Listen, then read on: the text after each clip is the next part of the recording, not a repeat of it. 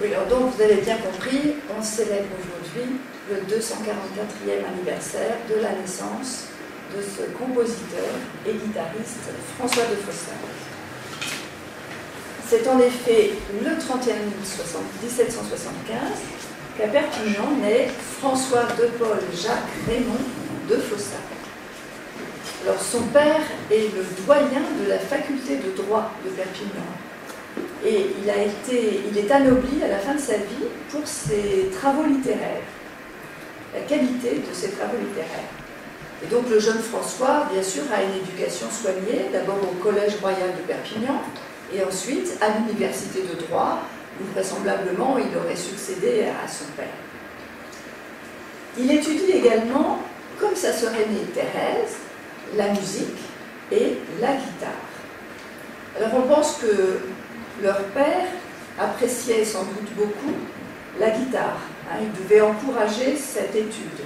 On sait que lors d'un déplacement à Barcelone, il, euh, il dit à sa femme qu'il va rapporter une guitare pour leur fille. Et quelques années plus tard, dans une lettre euh, euh, que Madame Fossa écrit à son mari alors qu'il est en déplacement, elle lui annonce ce que ses enfants vont préparer pour son retour, une surprise qu'ils vont lui faire. Ta fille s'exerce à la guitare pour te régaler. Ton fils voudrait apprendre un air et une chanson et s'accompagner à la guitare. Je ne sais s'il y réussira. Alors il faut rappeler que à, à ce moment-là, au moment de la lettre, il n'a pas encore 10 ans. Donc effectivement, sa maman pouvait peut-être douter de ses capacités.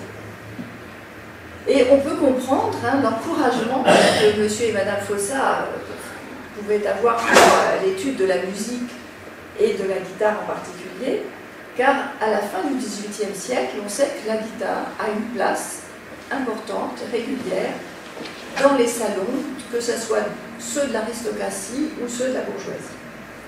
Et il, paraît, il paraissait à l'époque donc de nombreux recueils de musique donc voici un exemple, la muse lyrique des à la reine, qui sont des recueils d'air avec accompagnement de guitare, hein, qui étaient publiés et qui, étaient envoyés dans toute la France par les relais de poste. Hein. Donc les, amateurs pouvaient s'y abonner et recevoir périodiquement donc, cette musique. Voilà un petit exemple, par exemple, une page qui est un air qui s'appelle À guitare, Hein, qui est donc euh, où là on voit le, texte et la musique en dessous. Donc ça permettait aux amateurs d'apprendre des airs. Peut-être François et sa sœur ont-ils euh, joué cet air-là. Mais la vie familiale heureuse, donc euh, qu'on a évoquée jusqu'à maintenant, ne dure pas. Parce que d'abord, la mère, donc Madame Fossa, décède en 1786, suivie bientôt par le mari en 1789 la date aussi suggère des problèmes puisque c'est vraiment le départ de la Révolution. Donc François se retrouve orphelin de, ses deux parents euh, à 14 ans. Bien sûr, il y a sa sœur aînée, mais c'est sa sœur aînée et sa seule parente proche. Et donc les bouleversements que, génère la Révolution qui arrive contraignent François finalement à l'émigration. En 1793, il quitte la France pour l'Espagne parce qu'il s'engage dans ce qui s'appelait la Légion des Pyrénées. Et sa sœur aînée, sur qui il reporte donc toute son affection, qu'il va appeler sa bonne amie, devient sa confidente. Il lui écrit régulièrement, et donc euh, ce que Renaud a évoqué, les, 500, les plus de 500 lettres qui ont été écrites, hein, ont permis effectivement l'exposition qui a été ici, Hein, toutes ces lettres offrent quantité d'informations sur l'homme, sur son époque. On peut retracer son parcours en Espagne, de Barcelone à Madrid, puis à Cadiz, ensuite au Mexique, où il séjourne 5 ans, et finalement en France, qu'il retrouve à partir de 1813. Et ces lettres, bien sûr, sont aussi source de renseignements pour une biographie du musicien, hein, François de Fossa car on peut mesurer dans ses lettres l'importance que la musique et la guitare ont eue pour ça. Et on a l'impression que partout où il se trouve, il a toujours une guitare avec lui. Hein, il est toujours prêt à en jouer. Alors que s'annonce la paix de Bâle, par exemple, en 1795, il rassure ses amis restés donc à Perpignan. Je me trouve actuellement assez bien, ne pensant qu'à manger, boire, dormir, me promener et jouer de la guitare. Un peu plus tard, à l'occasion du voyage d'un ami à Perpignan, il demande à cet ami de rapporter sa propre guitare. Alors, la, guitare de, de Fossa à l'époque n'était pas semblable à celle que l'on connaît maintenant. Donc, pour vous montrer, nous voyons donc là, j'ai juste à poser, une guitare française d'environ 1770, et à droite, une guitare classique euh, actuelle qui a été faite par le luthier de Barcelone, Fleta, de 1983. La guitare de 1770, vous le voyez, est assez étroite et assez profonde de caisse. Elle a une rose très décorée de nacre. Euh, en Espagne, les guitares sont également assez étroites et profondes. Vous voyez, dans ce tableau de Thibolo, qui est à peu près dans les mêmes dates, on voit que la guitare euh, ressemble bien à la guitare française que nous vous avons montrée. Donc, dans plusieurs de ses lettres, François de Fossa évoque la musique comme une occupation capable de combler sa vie. En 1816, par exemple, il dira Ne crains pas que je sois jamais atteint de la passion du jeu. J'en ai une autre bien plus agréable. Je veux dire la musique, qui m'a fait passer dans ma vie des moments bien doux, qui m'a distrait de tous mes chagrins. Alors certainement, comme il l'écrit, la musique le distrait de ses chagrins, l'apaise dans les moments de solitude et de mal du pays, bien sûr, qu'il va ressentir tout au long de son passage Espagne. Mais c'est également une, source d'échange, un moyen de créer des liens avec toutes les personnes qui l'entourent. Et l'une d'elles est certainement Don Miguel de Azanza, c'est lui, qui est euh, alors ministre de la guerre en Espagne et bientôt vice-roi du Mexique. Et lorsque François cherche un emploi en Espagne après la paix de Bâle, et donc la dissolution de son régiment, il est introduit par ses relations auprès de cet homme qui lui propose hein, de, de l'emmener au Mexique comme page. Et on pense que si on lui fait cette proposition, les qualités musicales de François, qui est alors un jeune homme de 21 ans, sans doute euh, peu formé à un métier euh, particulier, la musique donc joue certainement un rôle très important. À Cadiz, en 1797, dans l'attente de leur départ pour le Mexique, François joue de la guitare avec ses compagnons. Nous sommes dans la maison 4 ou 5 amateurs de violon et de guitare.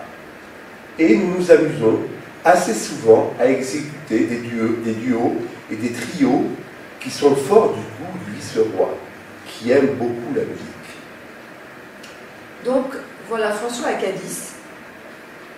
Et des concerts sont organisés dans la bonne société de Cadiz. Une fois la semaine seulement, le samedi depuis 8 heures du soir jusqu'à 10 heures et demie, je vais au concert dont je t'ai parlé, où je joue de temps en temps des trios et des quatuors de guitare, violon, alto et basse. J'y vais par rapport à la musique et parce que le vice-roi le veut. Et l'on sait aussi que le décompte des dépenses de François à Cadiz, décompte qu'il fait pour sa sœur qui lui envoie des subsides, euh, montre qu'il y achète une guitare qui coûtait 8 euros. Et donc c'est une guitare qui est sans doute moins luxueuse que celle-ci, mais peut-être du même luthier de Cadiz, Dionisio Guerra. C'est une guitare qui est très ornée. La rose est composé de cercles de trois rangs de motifs de nacre. Le chevalet, là où les cordes sont attachées, est fait de, de fleurons en ébène incrustés de nacre. Et puis vous voyez la presse du luthier Dionyso Guerra, Cadiz et puis 1794. Il manque le 9, mais on se doute bien que ça ne peut être que cette.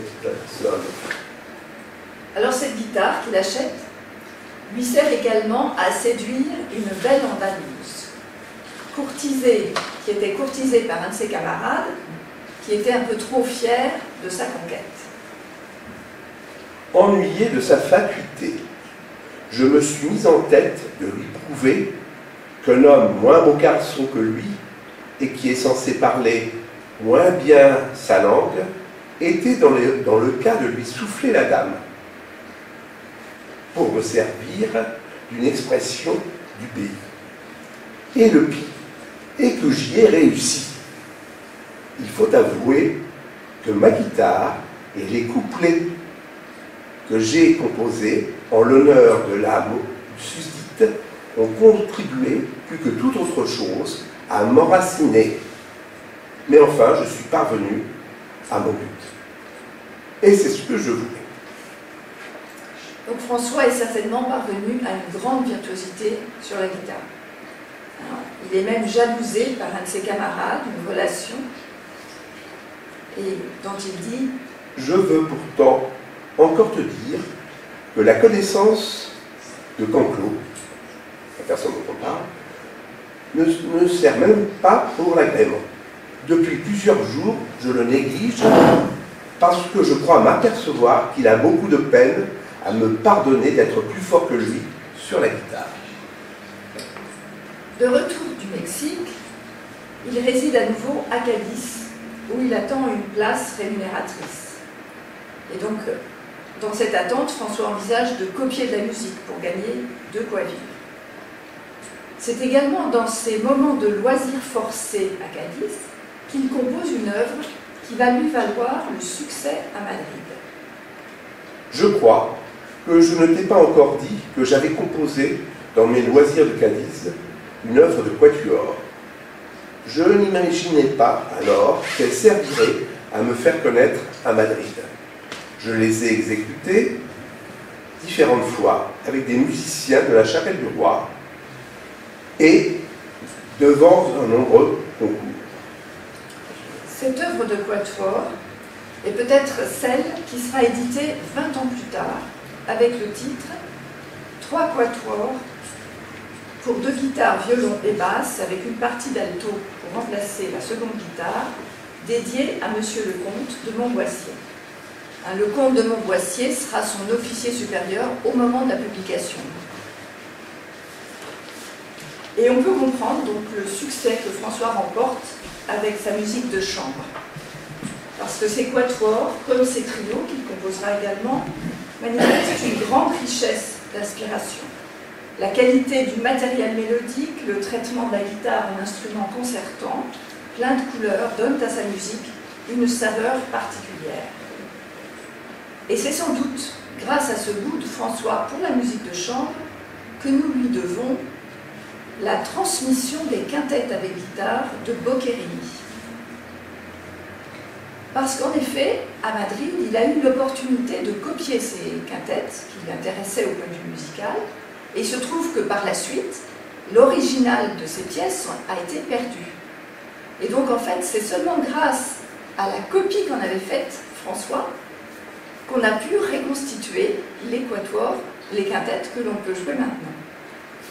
Donc voilà un exemple donc, de la main de François, du fandango d'un des quintettes, et donc qui, sont maintenant, je crois, ils sont à la Bibliothèque du Congrès euh, aux États-Unis.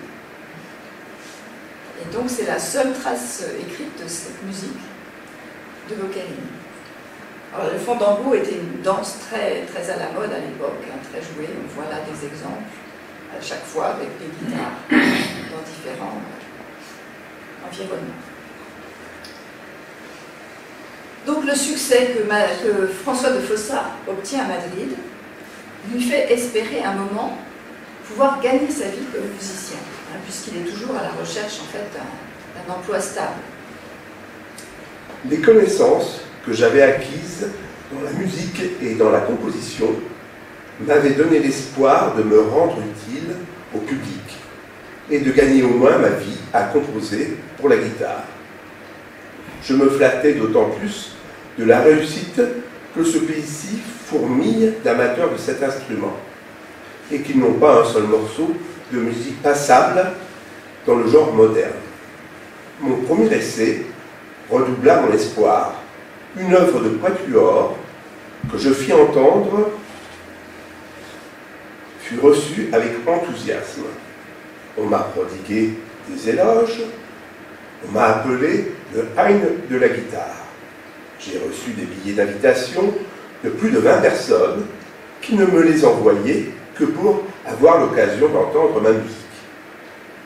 J'ai été fêté tant que je les ai amusés. Et je leur ai été plus encore si je leur avais fait cadeau de mes quatuors. Mais lorsque j'ai voulu en tirer parti, ainsi que de mes autres compositions, j'ai trouvé tout le monde de glace.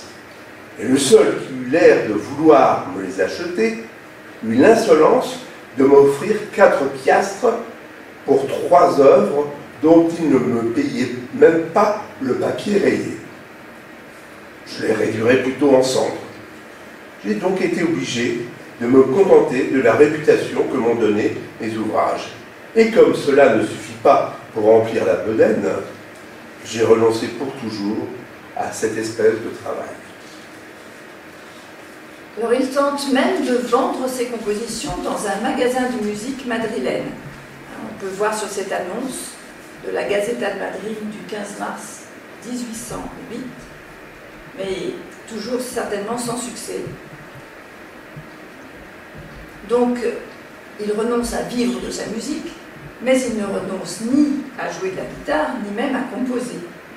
Mais ce n'est qu'une fois revenu en France, à partir de 1813, que ses œuvres vont trouver des éditeurs. Bien, nous allons entendre son opus, un extrait de son opus, oh, de son opus numéro 1, une tyrolienne. Donc il sera joué intégralement demain au concert à Stine. Donc, membre du duo Tarentelle. Donc Stine euh, va nous jouer la variation, donc euh, la tyrolienne est un morceau composé d'un thème, variation et finale. Et donc il va nous jouer la, variation la plus amusante, qui est sur les notes flûtées. Alors les notes flûtées, ce sont des notes aiguës. Sten va nous jouer le La grave, par exemple. Et sur celle, ce La grave, il peut faire des notes plus aiguës. Et il joue donc sur une guitare qu'a pu jouer François de Fossat, du très grand et renommé luthier parisien Pierre-René Lacotte, et cet instrument a été fabriqué en 1828. On peut imaginer que François ait joué cette tyrolienne sur cette guitare. Voilà. Et écoutons cette variation.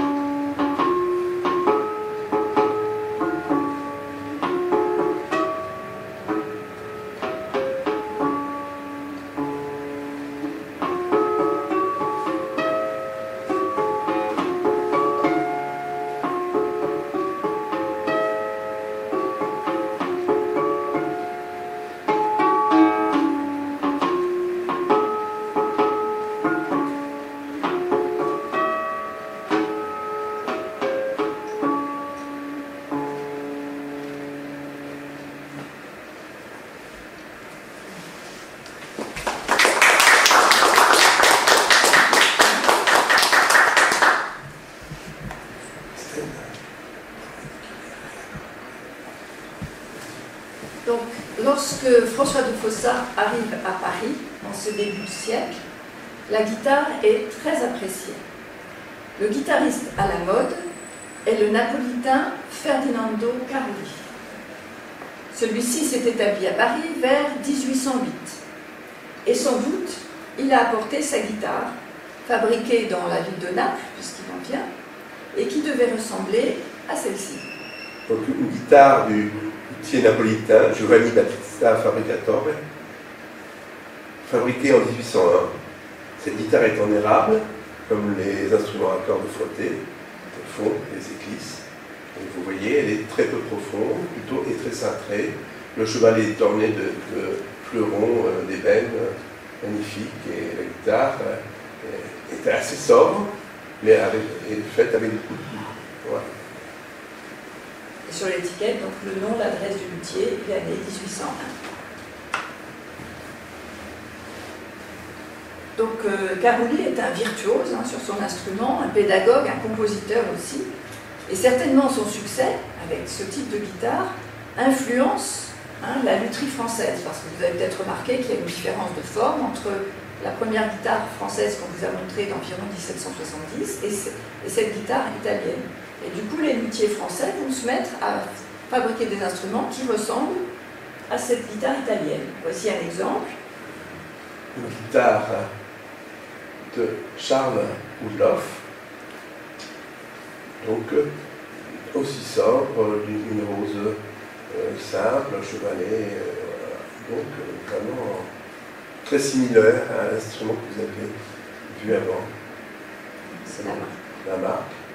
Mais toujours beaucoup de goût. Hein. Dire, la, la, rose est entourée de filets d'ébène et d'ivoire alternés.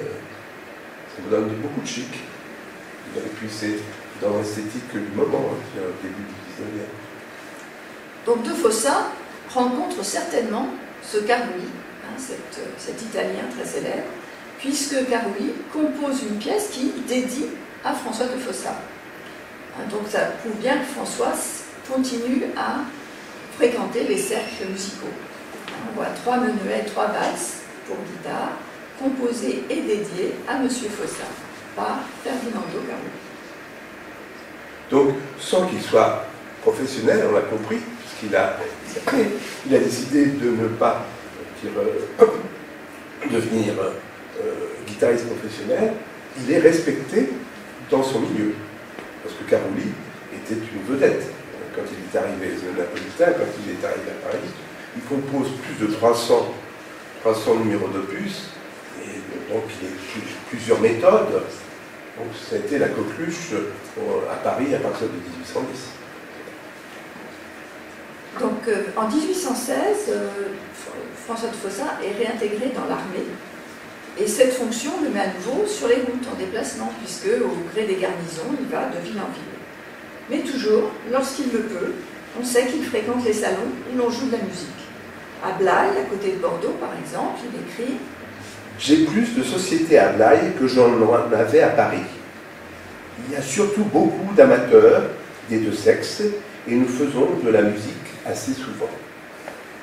Après Bordeaux, il réside environ un an et demi à Lyon. Alors, sachant que sa nièce, donc la, une des, la fille de sa sœur, s'est mise à étudier la guitare, il s'engage à lui en offrir une. Donc, et d'écrire et à écrire une méthode. Donc, dis à Thérésette que je me charge de lui envoyer une bonne guitare lorsque tu m'auras rendu compte des progrès qu'elle aura fait dans la musique vocale et sur cet instrument. Pour commencer, une des tiennes est excellente et ce serait une folie de dépenser un sou un nouvel achat sans savoir si notre jeune élève ne se dégoûtera pas. Je ne connais point de méthode que je voulusse conseiller à personne. J'ai l'intention d'en composer une cet hiver. Alors sa méthode, ou plutôt son essai de théorie musicale, restera en fait à l'état d'ébauche. Faute de temps peut-être, mais également à cause de la rencontre qu'il fait quelques années plus tard avec le guitariste madrilène Dionisio Aguado. Nous allons en reparler après.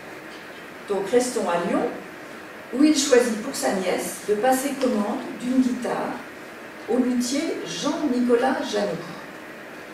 Séduit par la nouveauté de la forme des guitares que ce luthier fait, autant que par leur sonorité.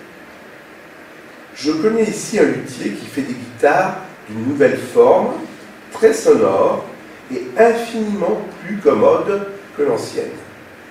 Je tâcherai d'en attraper une à la volée pour ta fille. Mais il ne faut pas qu'elle le sache jusqu'au moment où cela sera fait. Car la vogue de ce luthier est telle qu'il a toujours des commandes faites pour plusieurs mois. Alors voici un exemple. Une guitare du luthier Janot. Et on voit, elle est plus commode, hein, ce qu'on appelle plus commode, parce que les, la main gauche n'est pas gênée par la forme arrondie hein, de la guitare pour jouer dans les notes aiguës. Oui, donc euh, de, part et d'autre du manche, les, le lobe supérieur, qui était le lobe supérieur, au lieu d'être convexe, devient concave, ce qui permet d'avancer beaucoup plus la main et d'avoir un jeu aisé dans les suraigus, dans les notes très aiguës. Voilà la tête aussi qui a une forme particulière.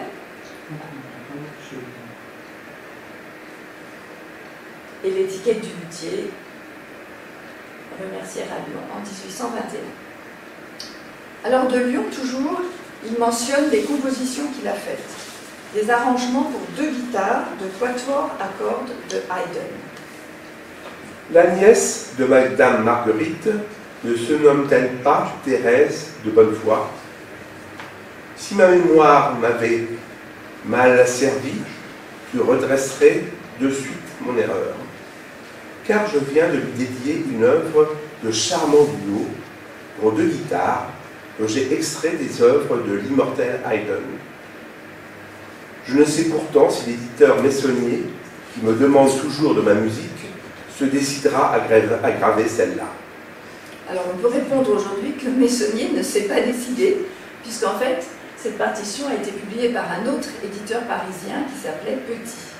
Et nous allons entendre la, le premier mouvement d'un de ces quatuors transcrit pour deux guitares. Euh, par euh, François de arrangé pour deux guitares par François de Fossat, donc par le duo Tarentelle.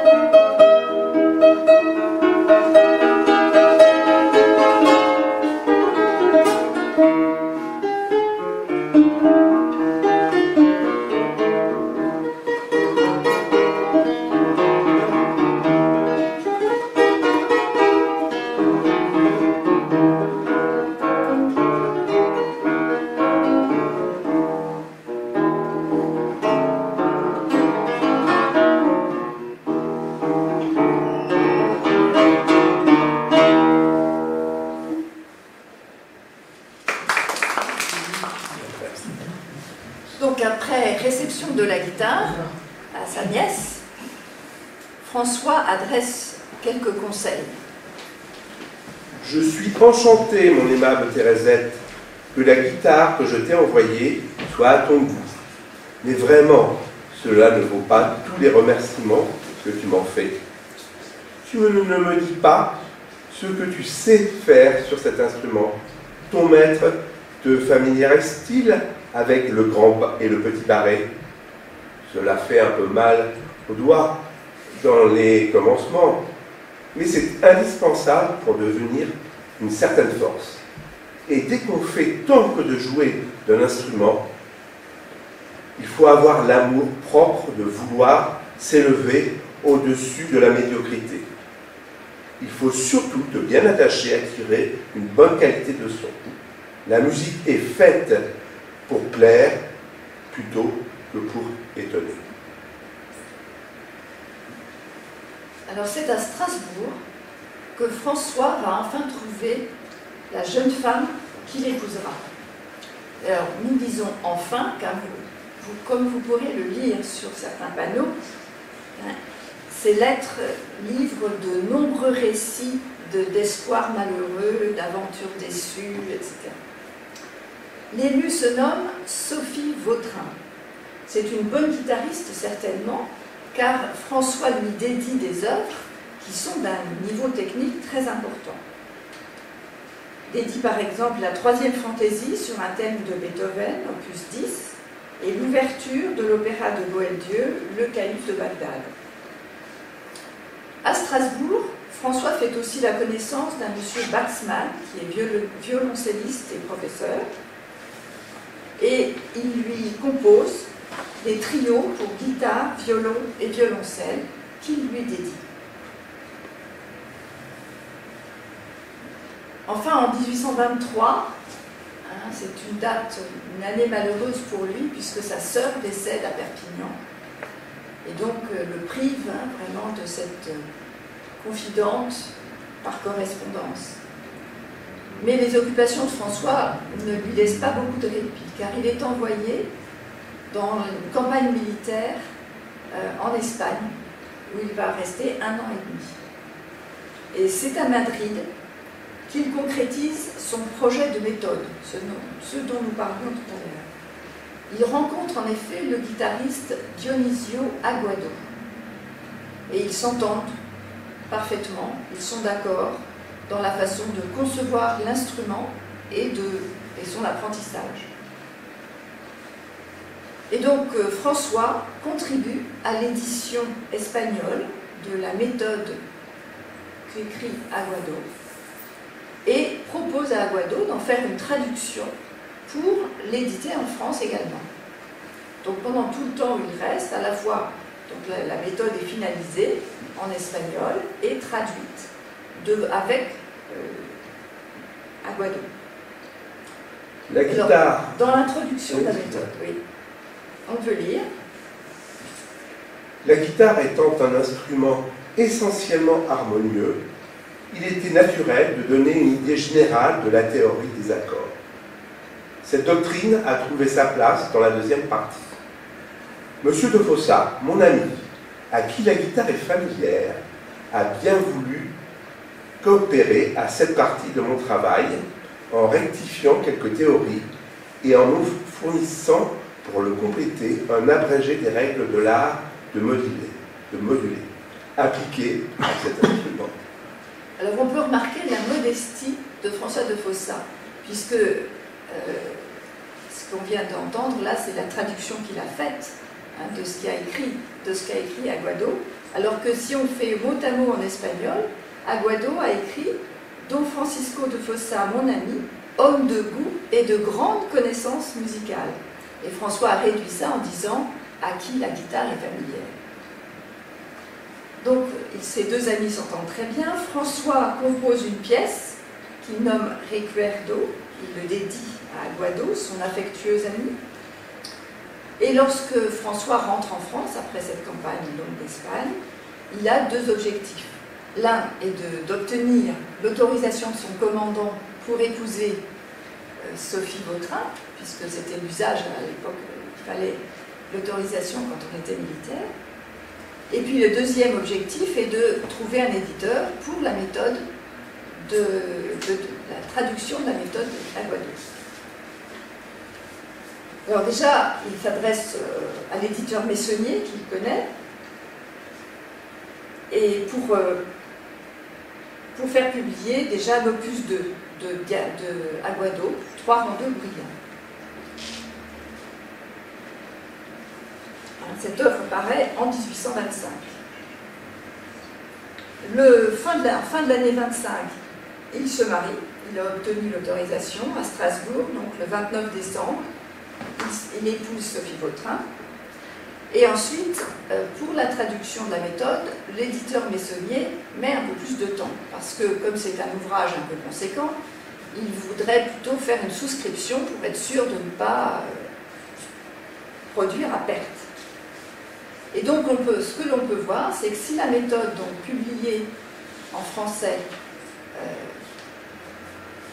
traduite par le Fossa, si elle paraît, c'est grâce aux nombreux amis que François avait dans toute la France. Parce que si l'on voit la liste des souscripteurs, donc qui ont permis l'édition de la méthode, on peut voir que ça couvre tous les déplacements de François lors de ses, lors de ses déplacements de sa garnison tous les liens qu'il a pu créer. On voit bien sûr des Parisiens, ensuite beaucoup de Bordelais, à Agen, à Lyon également. Et parmi les souscripteurs de Lyon, il y a une mademoiselle de la Forest, professeure de guitare à Lyon, qui est aussi dédicataire de l'opus 13 de François de Fossard, Quatre divertissements. Donc on voit bien que de Fossard, même malgré ses occupations militaires, est vraiment très très lié à tout ce qui est euh, musical. Ensuite, Aguado, son ami, donc, vient s'établir à Paris. En cadeau de mariage, il dédie à la jeune épouse, Sophie, maintenant de Fossa, cette pièce, six petites pièces, hein, pour guitare seule. Il déduit ensuite à François le menuet à Fandangado, Et donc Aguado est venu à Paris aussi parce que c'est une période où l'activité de la guitare y est très intense. Hein, on a donc des, guitaristes italiens, qui sont Caroli, comme celui Caroli est venu, d'autres Italiens sont venus après lui. D'Espagnol, donc il y a Aguado et Fernando Sor qui viendra aussi s'établir à Paris. Et donc, c'est pas étonnant que la plupart des œuvres de De Fossa aient été publiées à cette période. Ah, c'est une période qu'on appelle en France la guitaromanie. Alors ce titre vient euh, de la publication d'un ensemble de gravures un, peu humoristiques, la guitaromanie. Donc là on peut voir qu'il y a des guitares dans toutes les mains des gens représentés, quelle que soit leur taille. Et donc ça illustre les genres musicaux qu'on pouvait faire sur la guitare. Et on voit que De Fossa correspond bien à son époque, puisqu'il écrit des fantaisies, il écrit des airs variés, des arrangements d'ouverture d'opéra et des airs de danse. La popularité de la guitare favorise l'innovation en matière de facture instrumentale. François y est sensible. Nous l'avons vu avec la guitare lyonnaise offerte à sa nièce. Dans cet esprit d'innovation, des guitares à 10 ou à 7 cordes seront aussi demandées au luthier par les guitaristes. Mais les plus jouées demeurent les guitares à 6 cordes simples, celles du luthier parisien Pierre-René Lacotte. Vous en avez entendu, vous êtes privilégié. De, de ce soir, d'une grande élégance et d'une qualité de son exceptionnelle. Elles sont particulièrement appréciées par les concertistes de cette époque et encore maintenant, bien entendu. Voici donc un exemple d'une très belle guitare à cordes qui est similaire à celle que vous avez entendue ce soir. Cet instrument est le résultat d'une collaboration entre guitaristes et luthiers pour servir l'expression musicale de l'époque, le surpassement L'innovation pour jouer plus fort, plus vite, plus grave, plus aigu, dans le but d'exacerber les émotions et les sentiments. Nous sommes dans le romantisme. Pour terminer, vous allez écouter une tirana dont François de Fossa a écrit les paroles et dont l'arrangement pour guitare a été fait par son ami Narcisse Paz, dont vous avez entendu tout à l'heure une variation sur la tyrolienne opus numéro 1. Donc Sarah, soprano, que vous pourrez entendre demain. Donc l'ensemble Adélaïde et le duo Tarentelle. Suffisamment Sarah Pardon Suffisamment lumière Ça va.